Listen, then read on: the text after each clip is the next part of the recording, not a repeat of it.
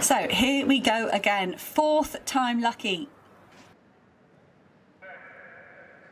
They drive again, the fourth time of art scene. Dina Asher Smith, not as fast off the mark as she was in some of those earlier attempts, but Dina Asher Smith is the clear winner here at the Belgrade indoor meeting. Just 7.14 on the clock, but they had a heat earlier on and then four starts. And I don't think that was the best of the bunch from Dina Asher Smith. Perhaps there was more in the tank here today for the national record holder for Great Britain, but she gets the win nonetheless, separating herself from the rest of the pack.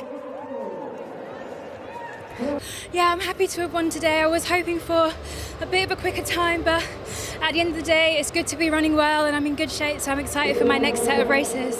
All right, three false starts. Does that shake you up a bit? It doesn't shake you up, but it's definitely something that I feel like, I mean, as athletes, you've got to be ready to do that. You've got to be ready to deal with it. But yeah, it's challenging. it is challenging, but um, it is what it is.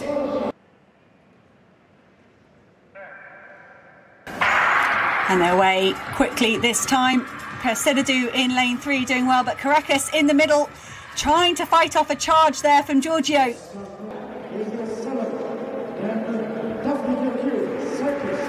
Karakis diving across the line. Daphne Giorgio had a great race out there in lane six.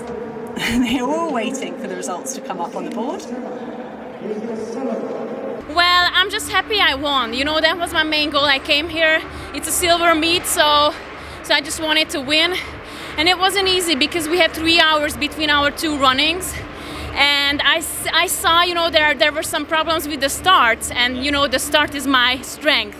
So I was just don't fall start, don't fall start. So basically I felt I could have run under 8 seconds. Probably I, I feel that it's in me, but I was scared with the start. So I mean, I'm still happy. I, I won and with an 807, so that's a good time.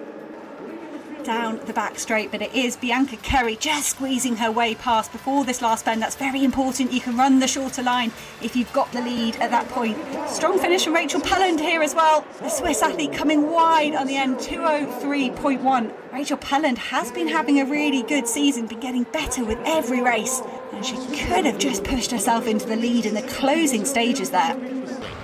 Yeah, uh, it was a really good race for me. I'm a 400 meters runner, so it was really good today, a good win, and I still have to, to learn, but really good today. In the men's shot put, Leonardo Fabbri of Italy, as if we needed another Italian shot putter. We've got Zane Weir, Nick Ponzio, here comes Leonardo Fabbri. Not a name I was all that familiar with before researching this event, but I probably should be. He's throwing very, very well.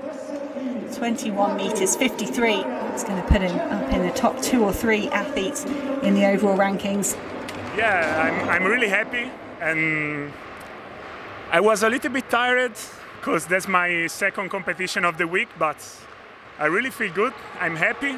I love that circle. And the most important thing is that I know there's something big uh, that's arriving. So I just keep keep going, keep training, keep competing, and I'm really enjoying this moment. Back to the women's long jump. Gardasevic.